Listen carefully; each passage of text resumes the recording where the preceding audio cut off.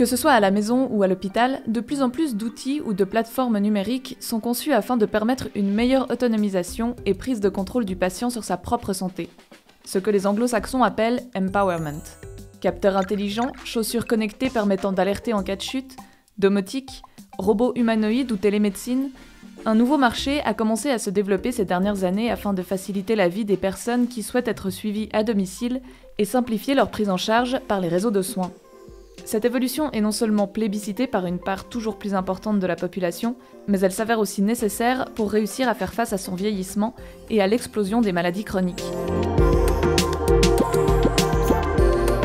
Les hôpitaux, centrés sur les soins aigus, s'avèrent en effet peu adaptés pour le suivi des patients souffrant de ce type de pathologie dont une part importante de la prise en charge consiste à surveiller les premiers signes de détérioration afin de pouvoir intervenir précocement et éviter des hospitalisations. Problème, à l'heure actuelle, cette surveillance est principalement assurée par des suivis réguliers en personne, particulièrement chronophages pour les patients et peu adaptés pour les personnes vulnérables. Face à ce constat, plusieurs entreprises privées se sont déjà engouffrées dans la brèche. La société chinoise Lenovo a par exemple lancé en juillet 2020 un service nommé Virtual Care, destiné aux professionnels de la santé dont les patients sont atteints de diabète, d'insuffisance cardiaque, d'hypertension ou encore de maladies pulmonaires. Ce kit à domicile comprend un tensiomètre et un glucomètre connecté, une tablette ainsi qu'un assistant numérique. Avec ces outils, le malade peut surveiller ses constantes et ses données sont envoyées au médecin qui peut réagir rapidement en cas de situation anormale. Selon l'entreprise, ce dispositif aurait permis de diminuer de 18% le nombre de réadmissions de patients. Outre la possibilité d'un meilleur suivi à domicile, la technologie numérique peut aussi contribuer à redonner une meilleure place aux patients dans son parcours de santé. C'est notamment l'objectif de la plateforme Concerto, lancée il y a deux ans par le Centre d'innovation des hôpitaux universitaires de Genève, précurseur en la matière, et développée en collaboration avec une trentaine de patients partenaires.